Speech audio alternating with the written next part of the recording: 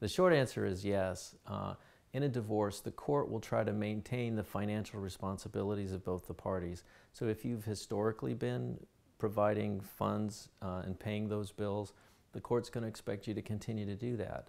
If you haven't been, um, then there's generally not going to be a requirement.